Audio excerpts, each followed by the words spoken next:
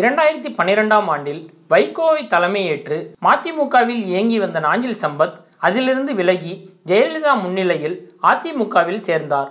அப்போது அவருக்கு கட்சியின் கொள்கை பரப்பு துணை செயலாளர் பதவி கொடுத்த ஜெயலலிதா கூடவே கட்சி பணிகளுக்காக வெளியிடங்களுக்கு செல்வதற்கு வசதியாக இனோவா கார் ஒன்றையும் பரிசளித்தார். இதையடுத்து அவரை இனோவா சம்பத் என்று பட்ட பெயரிட்டு எதிர்க்கட்சியினரும் சமூக வலைதளத்தில் பலரும் விமர்சித்தனர். இந்நிலையில் ஜெயலலிதாவின் மரணத்திற்கு பிறகு சசிகலா தலைமையை முதலில் சம்பத் ஏற்கவில்லை. அப்போது கட்சியில் இருந்து விலகப் போவதாகவும் கூறினார். பின்னர் சசிகலாவை அழைத்து நாஞ்சில் சம்பத்தை சமாதானம் செய்ததை அடுத்து சில நாட்களிலேயே சசிகலா தரப்பின் தீவிர ஆதரவாளராக மாறினார். தொடர்ந்து சசிகலா தினகரன் ஆகியோரை ஆதரித்து பேசி வந்தார்.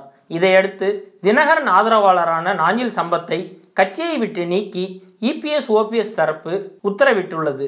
மேலும் அவரிடம் உள்ள இனோவா காரை கட்சி தலைமை கழகத்தில் ஒப்படைக்கும்படி நோட்டீஸும் அனுப்பியுள்ளது. இதையடுத்து அதிமுக தலைமை அலுவலகத்தில் இனோவா காரை விட்டு சென்ற நாஞ்சில் சம்பத் இரண்டாயிரத்தி பன்னிரெண்டாம் ஆண்டு டிசம்பர் பதினாறாம் தேதி இயக்க பிரச்சாரத்திற்காக கழகத்தின் பொருளாளர் பெயரில் வாங்கப்பட்ட கார் என்னிடத்தில் ஒப்படைக்கப்பட்டது.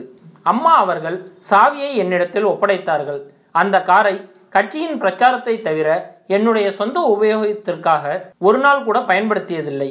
பிரச்சாரம் இல்லாத நாட்களில் என்னுடைய நண்பர் ஜாஃபர் அலி வீட்டில் பத்திரமாக நிற்கும். வீணாக அதை வைத்துக்கொண்டு இனோவா சம்பத் என்கிற பெயரையும் சுமந்து கொண்டு வீண் பழியுடன் எதற்காக இருக்க வேண்டும் என்று எண்ணி இன்று காலை இனோவா காரை தலைமை கழகத்தில் ஒப்படைத்து விட்டேன் என்று கூறியுள்ளார்.